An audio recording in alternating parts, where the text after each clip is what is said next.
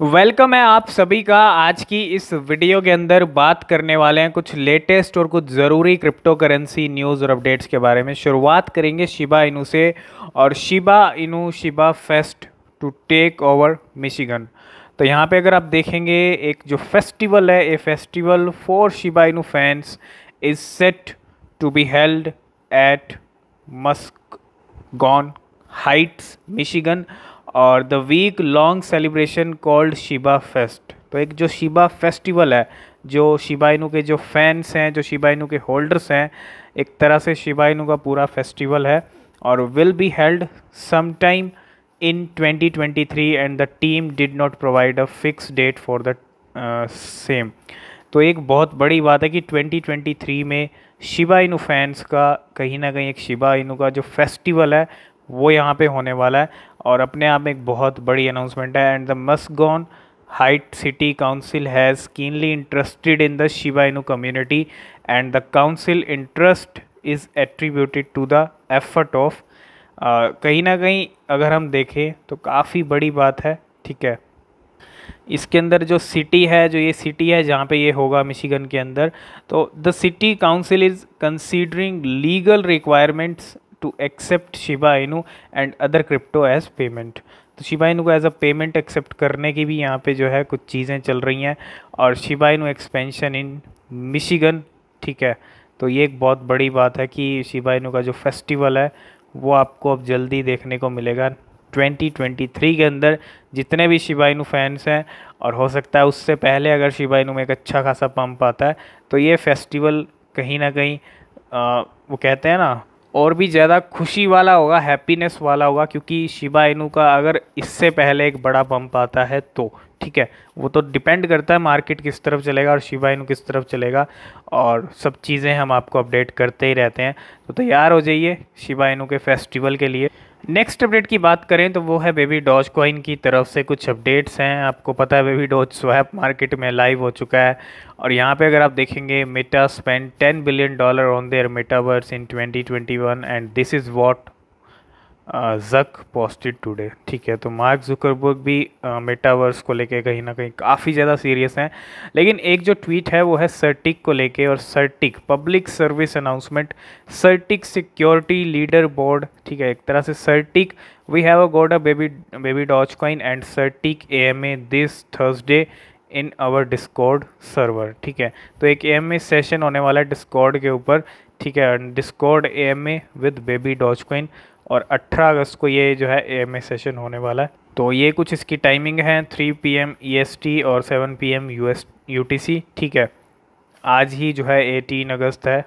Next update की बात करें तो वो है कैटो एक्स की तरफ़ से। जी हाँ अगर आप देखेंगे यहाँ पे कैटो एक्स और थ्रिल्ड एक ट्वीट है कैटो एक्स का और thrill to announce Baby Doge coin listing on CatoEx at the end of this month तो कहीं ना कहीं अगस्त के एंड में जो कैटो एक्स एक्सचेंज है, उसके ऊपर जल्दी लिस्ट हो जाएगा बेबी डॉज कोइन एक नई लिस्टिंग बेबी डॉज कोइन का वेट कर रही है इस महीने के एंड में और Baby Doge coin coming soon CatoEx ठीक है तो एक नई लिस्टिंग के लिए तैयार रहें बेबी डॉज कोइन की। नेक्स्ट अपडेट की बात करें तो वो है नॉर्थ कोरिया की तरफ़ से और North Korean hackers have looted one billion dollar from DeFi protocols this year तो ये जो अपडेट है वो है नॉर्थ कोरिया हैकर्स को लेके और उन्होंने जो है नॉर्थ कोरियन हैकर्स की अगर बात कर लें तो एक बिलियन डॉलर की जो लूट है वो यहाँ पे उन्होंने की है फ्रॉम डी फाइव प्रोटोकॉल्स ठीक है?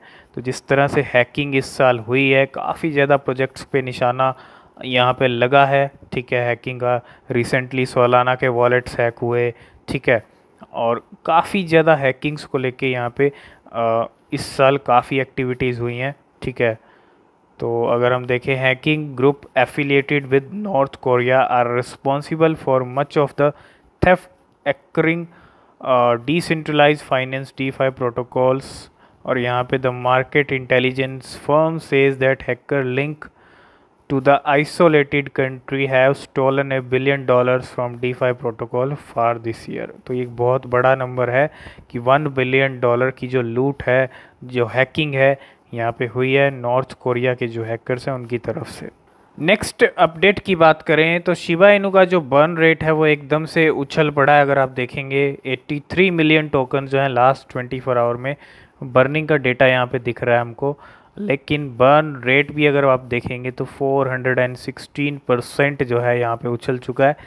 और ये कुछ इस टाइम पे शिबा इनू का बर्निंग का डेटा और बर्न रेट यहाँ पे चल रहा है। नेक्स्ट अपडेट की बात करें तो वो है एच यू एस डी को लेके। जी हाँ स्टेबल कॉइन है।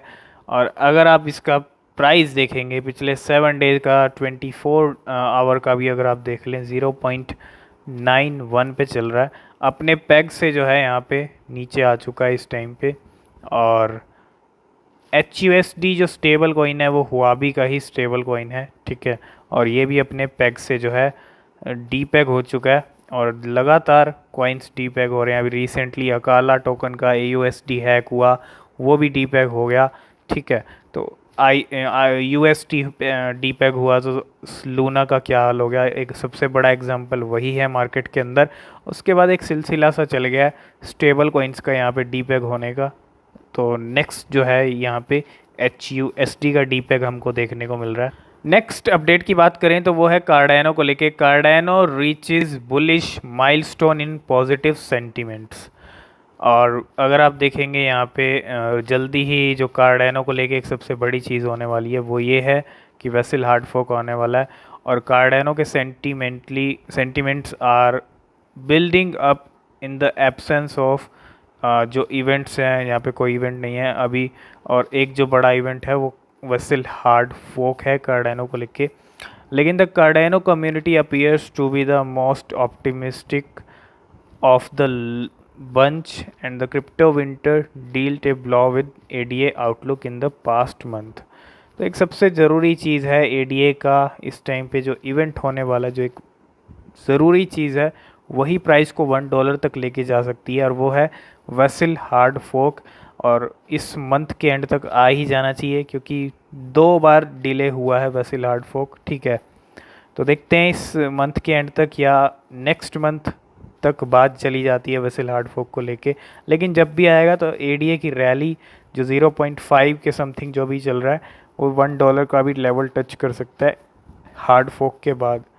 लास्ट एंड फाइनल अपडेट की बात करें तो वो है South African Reserve Bank encourage friendly behaviour with crypto तो यहाँ पे अगर आप देखेंगे the banking authority set avoiding risk by cutting off crypto involve clients may pose a threat to financial integrity तो यहाँ पे अगर आप देखेंगे Reserve Bank of South Africa ने यहाँ पे जो है फ्रेंडली बिहेवियर क्रिप्टो के साथ रखने का यहाँ पे जो है एक सजेशन दिया है।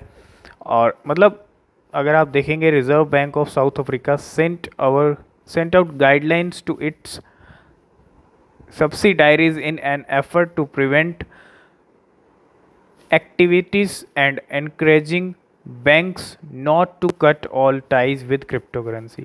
तो क्रिप्टो करेंसी के जो क्लाइंट्स हैं, जो यूज़र्स हैं, उनके साथ कट ऑफ़ करने के बजाय जो फ्रेंडली बिहेवियर है, वो यहाँ पे रखना चाहिए। ये मानना है Reserve Bank of South Africa का, ठीक है? तो कहीं ना कहीं फ्रेंडली बिहेवियर निकल के आया है साउथ अफ्रीका के सेंट्रल बैंक की तरफ़ से, ठीक है?